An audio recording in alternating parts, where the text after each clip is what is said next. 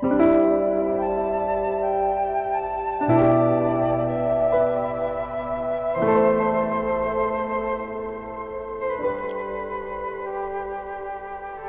แห่งกรรม เรื่อง สุขแท้ไม่มีจริง มีแต่ความทุกข์น้อย ท่านพุทธทาสพิขุได้กล่าวไว้ว่า ความทุกข์เกิดที่จิต เพราะเห็นผิดเมื่อผัสสะ ความทุกข์จะไม่โผล่ถ้าไม่โง่เมื่อผัสสะ ความทุกข์เกิดไม่ได้ ถ้าเข้าใจเรื่องผัสสะ การสอนคนนั้นมีวิธีการสอนได้หลายวิธีด้วยกัน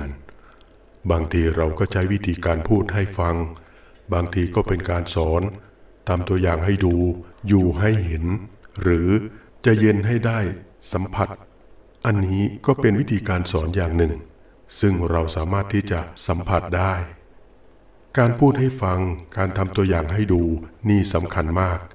เป็นการชี้ให้ทำต่างกันนะ พูดให้คิดกับชี้ให้ทำอย่างนี้เมื่อกี้นี้ มีคำขึ้นต้นที่ว่า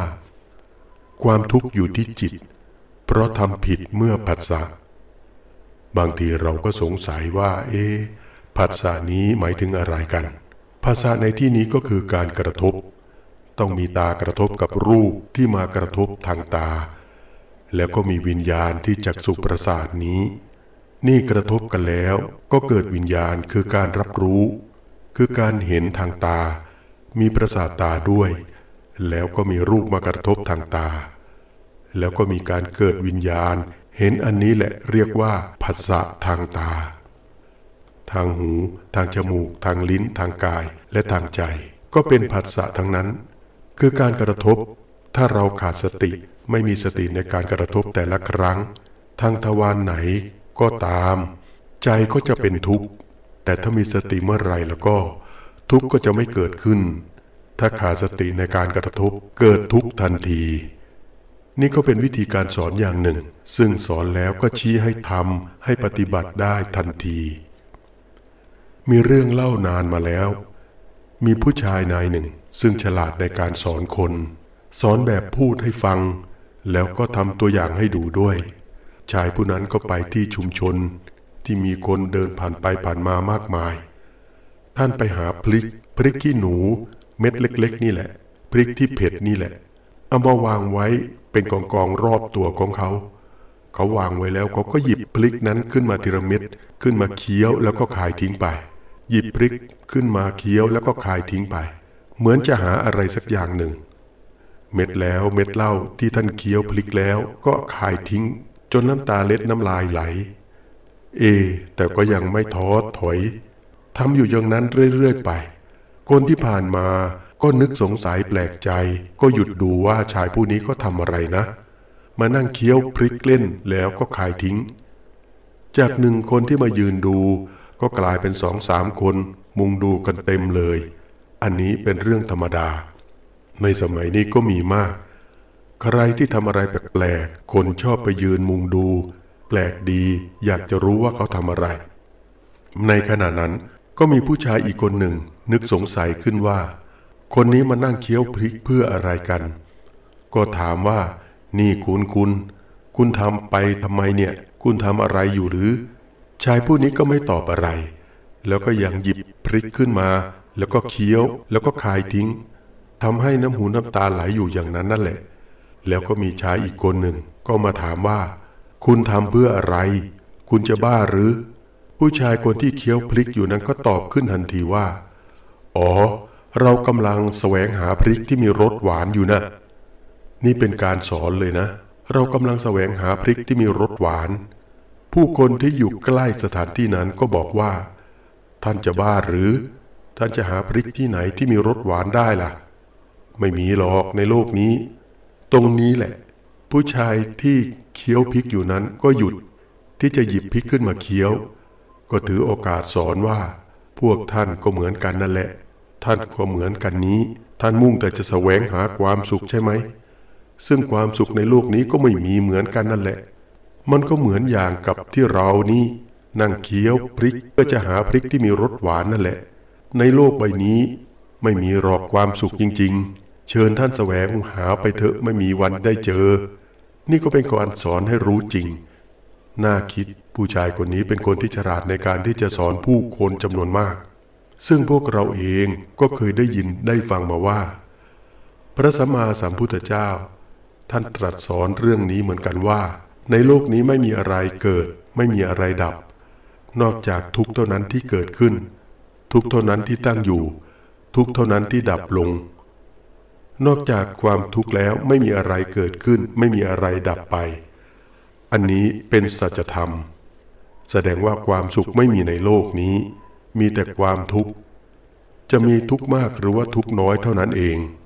ถ้าหากว่ามีความสุขแสดงว่าทุกข์นั้นน้อย สุขะแปลว่า ทนง่าย ทุกขะแปลว่า ทนได้ยาก ความสุขไม่มีมีแต่ความทุกข์ที่น้อย ไม่ใช่เกี่ยวข้องกับอุณหภูมินะ ความร้อนนี้มีแต่ความร้อนมากกับความร้อนน้อย ความเย็นไม่มี มีแต่ร้อนมากร้อนน้อย ถ้าร้อนน้อยแล้วก็คือเย็น นี่ถือว่าเป็นสัจธรรมเหมือนกัน เป็นวิธีการสอน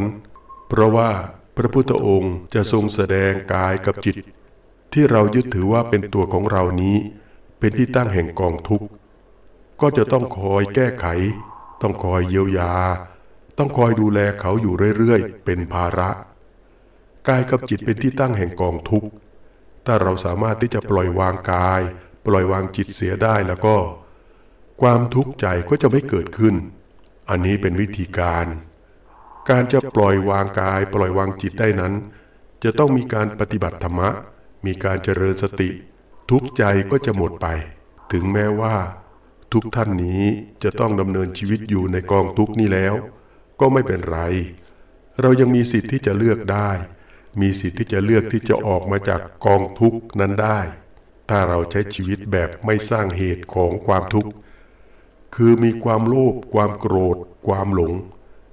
ตัณหานี่แหละก็คือเป็นที่มาแห่งความทุกข์ ถ้าเราอยู่ด้วยการลดละตัณหานี้ ลดละกิเลสได้เมื่อไรแล้วก็ ความทุกข์มันก็จะคลายลงเหมือนกัน จะกลายเป็นความเย็น จากร้อนกลายเป็นเย็นได้เหมือนกัน แต่ถ้าเราใช้ชีวิตแบบสร้างเหตุ แห่งความทุกข์ คือ โลภให้มากเข้าไว้ โกรธให้มากเข้าไว้ หลงให้มากนี่ ความทุกข์มันก็จะเกิดขึ้นที่จิตใจของเราไปจนตาย แต่ถ้าเราอยู่แบบปฏิบัติธรรมมีสติ ลดละเหตุของความทุกข์ ในจิตใจให้ได้เมื่อไรแล้วก็ ความเย็นอกเย็นใจก็จะเกิดขึ้น จะเรียกว่าเป็นความสุขก็ว่าได้ สมมุติเรียกว่าคือความสุข คือความเย็นอกเย็นใจ เพราะว่าทุกข์มันคลายออกไปจนกระทั่งหมด ซึ่งในชีวิตประจำวัน เราสามารถทำได้ทำได้เดี๋ยวนี้เลย เพียงแต่ขอให้เราย้อนกลับมาดูที่ตัวเรา ให้เรารู้จักพอใจเสียหน่อย พอใจในสิ่งที่เรามี พอใจในสิ่งที่เราเป็น พอใจในงานที่เราทำพอใจในผลของงาน พอใจในสิ่งตอบแทนค่าตอบแทนที่เราได้รับ แค่เรามีความพอใจนี้ ใจของเราก็จะเริ่มมีความสุขแล้ว บางทีก็ต้องยอมรับ รู้จักยอมรับสถานภาพ ในความมีความเป็นของเราด้วย เราเกิดมามีร่างกายเป็นแบบนี้ มีความเจ็บไข้ได้ป่วย มีความพิกลพิการ รู้จักยอมรับเสียว่ามันเป็นเรื่องธรรมดา การยอมรับนี้ทำให้จิตใจผ่อนคลาย ยอมรับในงานที่เรากระทำบางทีงานที่เราทำนี้เป็นงานสุจริต แต่ใจเราไม่ชอบ ถ้ามันสุจริตแล้วก็ดีแล้ว รู้จักยอมรับ เราก็จะทำงานแบบมีความสุขได้เหมือนกันงานสุจริตไม่เบียดเบียนใครให้ต้องเดือดร้อน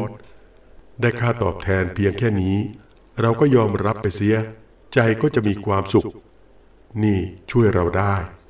บางทีเราต้องรู้จักปล่อยวาง ปล่อยวางสิ่งที่ค้างคาใจ ความโกรธ ความหงุดหงิด ความไม่พอใจ อึดอัดขัดเคือง ที่ใดก็ตามบุคคลใดก็ตาม ที่ทำให้เราไม่สบายใจแล้วก็ เรารู้จักปล่อยวางเสียบ้าง มีสิ่งค้างคาใจเป็นอารมณ์ ที่เรายึดติดอยู่ เราลองปล่อยวางดูเสียบ้าง ใจเราก็จะสบายขึ้นได้ พอมันสบายมันก็มีความสุข สุขน้อยๆ อยู่ในจิตใจของเรานี้ รู้จักให้อภัยไม่เป็นไรหรอก เรื่องแค่นี้ไม่เป็นไร ให้อภัยเสีย การให้อภัยแล้วนี่ใจเราก็จะมีความเย็นลง เลิกที่จะจับตาดูผู้อื่นเสียบ้าง บางทีเราหาความสุขไม่ได้ เพราะว่าเรามุ่งแต่จะจับตาดูผู้อื่น จับผิดผู้อื่น การจับตาดูผู้อื่น ค้นหาความผิดของผู้อื่นนี้ ชีวิตเราจะไม่มีความสุขเลย เป็นทางตันของชีวิต เพราะว่าถ้าเราจับตาดูใครก็ตาม ถ้าเขาทำความดี บางทีเราก็คิดอิจฉาริษยาเขาใช่ไหม เราจะจับผิดเขานี่ ถ้าเขาทำความดี ไปอิจฉาเขา อิจฉานี่แหละ ใจเรานี้ก็จะไม่มีความสุข เขาถึงได้ว่า อิจฉาตาร้อน แล้วจะนอนไม่หลับ แล้วก็ไม่มีความสุข ถ้าหากเขาทำความผิดทำความชั่ว เราไปจับตาดูเขา บางทีเราสมน้ำหน้าเขา บางทีเราหงุดหงิดสมน้ำหน้า มันไม่ดี ไปจับตาดูคนอื่น จับผิดคนอื่นนะเราจะไม่มีความสุขเลย สู้เราหันมาจับตาดูตัวเรานี้ ดูกายดูใจของเรานี้ด้วยสติ รู้เท่าทันปัญหาที่เกิดขึ้นในจิตใจของเรานี้ รู้เท่าทันปัญหาที่ค้างคาในจิตใจของเรา แล้วก็ละเหตุของปัญหานั้นเสีย ละที่เหตุเลย ปัญหาก็จะค่อยๆหมดไป ใช่ไหม เหมือนไฟที่ลุกโชน แต่เราค่อยๆเอาเชื้อไฟออกเสีย ไฟนั้นก็จะดับลง เราก็จะใช้ชีวิตอย่างเป็นปกติสงบเย็นเป็นสุข สุขในทางธรรมะเป็นความสุขอย่างยิ่ง สุขสงบเย็นเป็นความสุขที่เกิดจากจิตไม่มีกิเลส เป็นความสุขที่แท้จริง เพื่อไปเป็นความสุขที่สูงสุดเลยก็ว่าได้ ผู้ที่จะแสวงหาความสุขนี้อาจจะพบได้ ถ้าเราปฏิบัติตัวเองให้ถูกต้อง เพราะว่า ชีวิตเราที่เกิดมาในกองทุกข์ ถ้าหากว่าเรารู้จักแสวงหาความสุขในกองทุกข์นี้ได้แล้วก็ จิตใจของเราก็จะผ่อนคลาย จะสบาย ความสุขนี้สามารถเรียนรู้ได้จากความทุกข์ หลวงพ่อพุทธทาสได้พูดไว้เสมอว่า นิพพานนี้เราหาได้จากวัฏสงสาร นิพพานมีได้ในวัฏสงสาร กงกรรมกงเวียน แห่งกองทุกข์ แต่ว่าในการเวียนว่ายตายเกิดนั้น มีนิพพานอยู่ในนั้นด้วย ถ้าเราหาดูดีๆ คือในวัฏสงสาร เพราะฉะนั้น เรานักแสวงหาความสุข ถ้าเรายังมีความทุกข์อยู่ไม่เป็นไร เรายังมีโอกาสที่จะออกจากความทุกข์นั้นได้ ด้วยการมาปฏิบัติธรรมะนี่แหละ ถ้ายังไม่ผิดหวัง ยังไม่ท้อแท้จนเกินไป อาจจะสมหวังก็ได้ อย่าท้อแท้ท้อถอยในการที่จะดำเนินชีวิตเพื่อให้ชีวิตได้มีความสุข เรามีโอกาสเป็นอย่างนั้นได้ แม้ว่า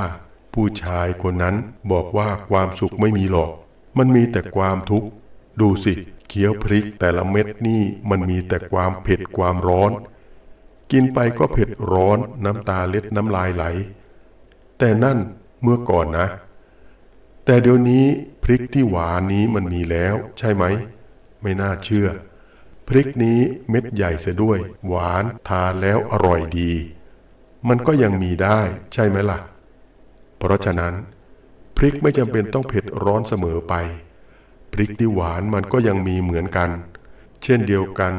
แม้ว่าเราจะอยู่ในความทุกข์ก็ตาม เวียนว่ายตายเกิดอยู่ในกองทุกข์ก็ตาม ก็ยังมีนิพพานซ่อนอยู่ในสิ่งนั้นเหมือนกัน ซึ่งมีอยู่ก่อนความทุกข์ด้วยซ้ำไป ดังที่